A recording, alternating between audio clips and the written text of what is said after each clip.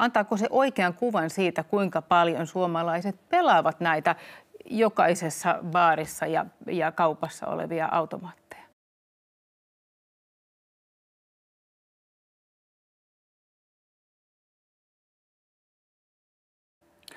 No, kuten tässä äsken todettiin, niin kyllä varmaan antaa sen oikean kuvan ja tämä sama Miksi antaa logiikkahan on ollut aikaisemminkin. Pitää ensin todeta kuitenkin, että näiden pelien pelaaminenhan vähenee.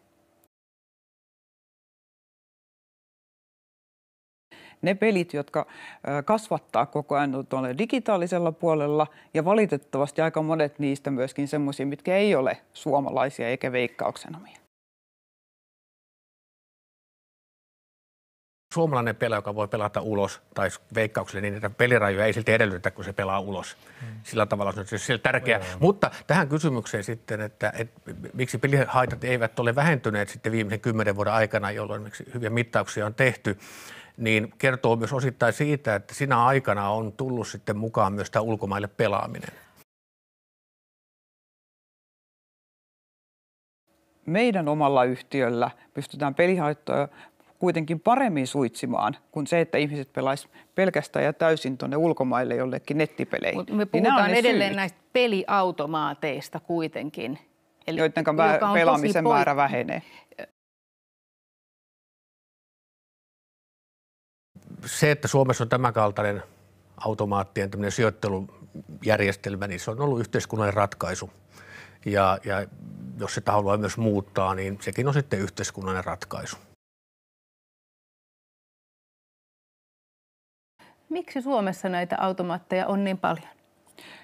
Mä en itse asiassa tiedä, mikä se on se historia, että näitä on ollut. No nyt pitää kuitenkin todeta taas tähänkin, että juurihan on päätetty, että niiden määrää vähennetään yli kolmella tuhannella.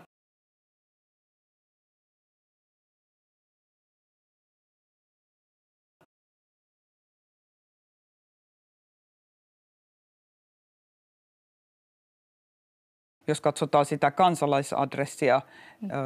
mitä koottiin, niin se ei edes ylittänyt sitä mm. nimimäärää myöskään niin kuin kansalaisten näkökulmasta. Ja sitten toisaalta, että niiden rajoitukset esimerkiksi ikärajavalvonnan osalta on onnistunut aika hyvin, eli monessa paikassa on pystytty tämä K18 pitämään, mikä oli mun mielestä erittäin perusteltua.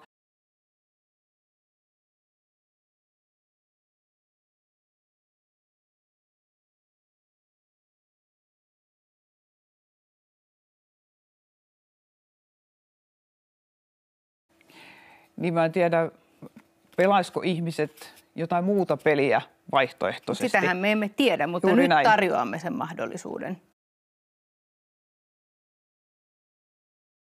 Mun mielestä on ollut erittäin perusteltua, että niiden paikat arvioidaan aina tarkasti ja varmaan tulevaisuudessa vielä tarkemmin, missä niitä on. No, Samaten se lukumäärä... Tutkimusten mukaan ni, niitä on paljolti sijoitettu semmoisiin paikkoihin, joissa on eh, huonompiosaisia ihmisiä, jotka myös enemmän pelaavat suhteessa.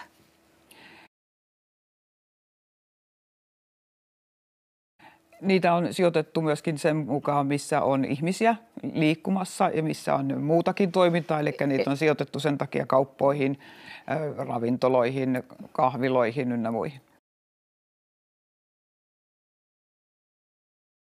Tässä meidän automaattien sijoittelussa niin ei ole sosioekonomisia perusteita. THL-tutkimusten mukaan näin on kuitenkin reaalisesti tapahtunut ja sanoin, asia, asian tila on tällainen. Kuten sanoin, niin emme sijoita niillä perusteella automaatteja. Automaatteja sijoitellaan ihan sen perusteella, missä on asiakasvirtoja. Ja toinen, mikä meillä on keskeinen peruste siinä on se, että me tietysti kunnioitamme yhdenvertaisuutta näiden kumppanien kanssa, että riippumatta siitä, missä kauppa sijaitsee, niin sillä on yhtäläinen oikeus saada myös sitä automaatteja sinne. Hyvä. Ja tämä, tämmöiselle yksinoikeusyhtiölle tämmöisen kumppanin yhdenvertainen kohtelu on äärimmäisen tärkeää.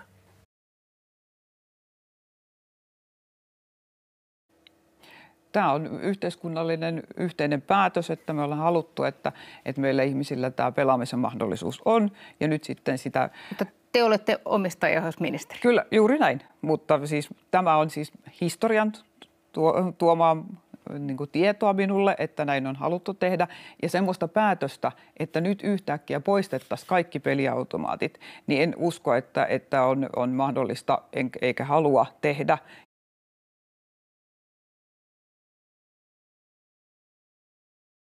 Ajattelen näin, että ihmisillä on myöskin sitten eri puolilla Suomea periaatteessa tasapuolisuuden merkeissä mm. oikeus ja mahdollisuus pelata automaatteja. Meillähän poliisihallitus näyttelee aika isoa roolia veikkauksen kumppanina.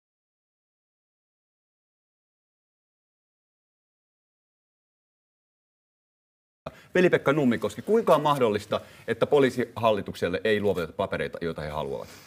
Joo, me ollaan tosiaan tätä strategiaa eri tavoin käsitelty myös, myös heidän kanssa ja muidenkin viranomaisten kanssa viimeisen vuoden aikana ja aina vilpittömästi tultu siinä, siinä uskossa, että me ollaan oikeita materiaalia riittävästi myöskin annettu ja, ja tapaamisia on tosiaan lukuisia ja, ja viimeisetkin tapaamiset on ollut lokakuussa ja on selvä asia, että jos, se, jos he katsovat, että ihan kaikki on toimitettu, niin sitten pitää toimittaa. No mutta nyt kun tästä on jo mennyt vuosi eikä vieläkään ole toimitettu, niin mikä tässä oikein no, Tässä oli ihan, varmasti ihan vilpittömästi semmoisia käsityksiä siitä, että, että toinen on ehkä olettanut antaneensa, mitä toinen on pyytänyt ja, ja välttämättä niin on ollutkaan. Mutta on selvä asia, että jos katsotaan, että jotakin vielä puuttuu, niin sitten toimitetaan. Ja nämä, mitkä puuttuvat, ovat kuulemma strategiaan toimenpanoon liittyviä asioita. Näitä poliisi ei ole saanut no. teiltä. Kuten sanoin, että jos, jos katsotaan vielä, että jotain puuttuu, niin varmasti toimitetaan, mutta vilpittömässä mielessä olemme ta- materiaalia luovuttaneet ja, ja katsoneet, että, että on oikeaa materiaalia annettu, mutta jos vielä katsotaan yhdessä, että jotain puuttuu, niin totta kai toimitetaan. Lupaatte, että toimitetaan? Totta kai toimitetaan. Tässä on, onko se niin, että kun tässä ollaan hiljaa eikä kritisoida, niin että tämä raha, jota jaetaan, niin se jotenkin tulee myös omien, oman lähelle ikään kuin, poliitikkojen lähelle?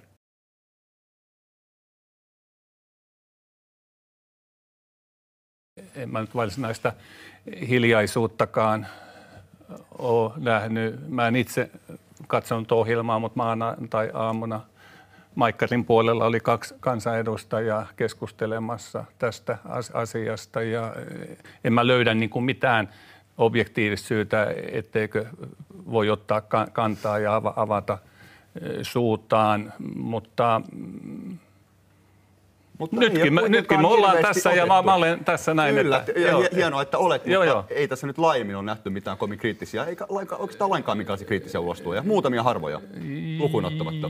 Joo. Mikä tässä on näin vaikeaa?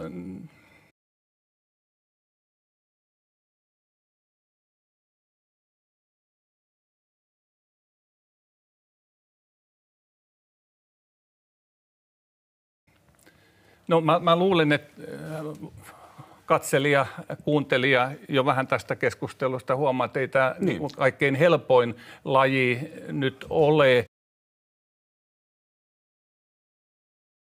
No voi ystävä hyvä, kun mä juuri sanoin, että hallintoneuvosto on sitä käsitellyt siis joka kokouksessa. Meillä on seitsemän kokousta. Me on niin tehty tosi paljon erilaisia juttuja.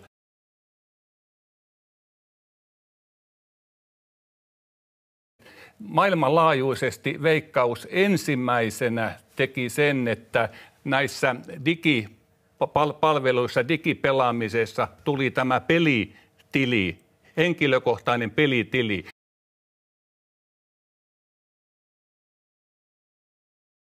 johon on pakollinen rajoitus, viikoittainen, kuukausittainen summa – jonka voit käyttää. Kyllä. Sitten mun ihan yksi tuttava pyysin, että hän kokeilee ja sieltä tuli toppari sitten, kun se meni sen 80 euron yli. Se on todella merkittävä innovaatio. Kuinka paljon veikkauksella on tällaisia pele- pelaajia, jotka tekevät kymmeniä tuhansia euroja no, En osaa lukumääriä sanoa, mutta, Etkö mutta, tiedä mutta, niitä? mutta siis sanon sen, että se rahapelaaminen on äärimmäisen keskittynyttä. Mutta ja tämä, ja tämä, on, tämä on se syy, jonka takia en tiedä lukua.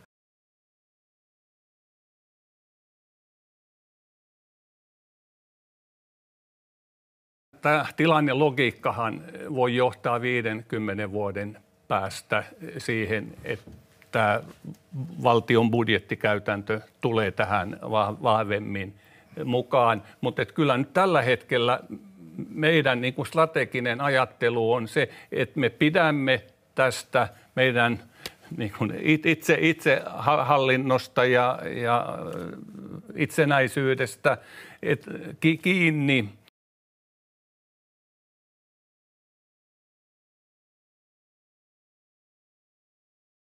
Nyt Ruotsissa on, että siellä on 84 yhtiötä, jotka pyörittää veikkausta. Ne, käy, tässä- nyt, ne, Niin. ne käyttää lähes miljardi euroa mainontaan, kun meillä se on suuruusluokkaa 30 miljoonaa. Mutta jos budjetti siirryttäisiin, lähtisikö tässä poliitikoilta ikään kuin tämmöinen hyvän tekijän rooli, status pois? Onko se tässä ongelma, että poliitikot vähentävät No vastustavat? ei, ei, ei tässä nyt kukaan mikään hyvän tekijä koe No hyvä. ole, ole, ole, olevansa. Teemme tärkeää Kyllä. Ja, ja yhteiskunnallista hienoihin kohteihin työtä. veikkauksen rahat.